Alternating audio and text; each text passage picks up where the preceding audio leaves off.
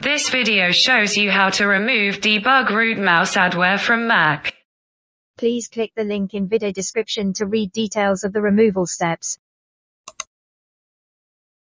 This page provides details of each removal steps, follow my operations to complete it. First, we will try automatic removal with SpyHunter anti-malware, which not only save hours for you, but also avoid risks of manual removal. It is able to remove stubborn malware and other malicious items hiding deeply. Click the button here to download SpyHunter for Windows or Mac.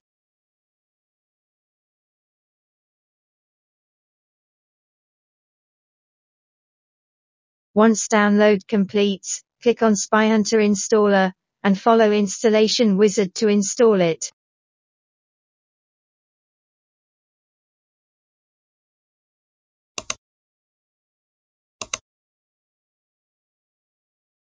Click Start Scan now. Click Next once scan completes. Now register 7 days free trial to activate SpyHunter and remove detected objects.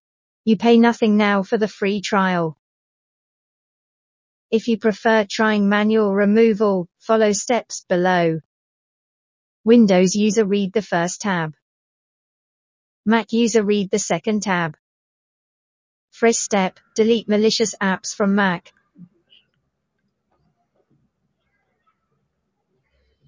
Select Finder on dock, click Applications, right-click on Unwanted or Malicious App and click Move to Trash. Then go to Dock and empty trash. Step 2. Uninstall malicious extensions. On Safari, click Safari menu and click Preferences. Find out malicious extension and click Uninstall. On Chrome, select More Tools and click Extensions. Find out malicious extension and click Remove button. On Firefox, click the Extensions button on toolbar. Find out malicious extension and click remove. Final step is to remove malicious files and folders. Select Go menu and click Go to folder. In Go to folder, type the path of launch agents folder. Then find and delete malicious files.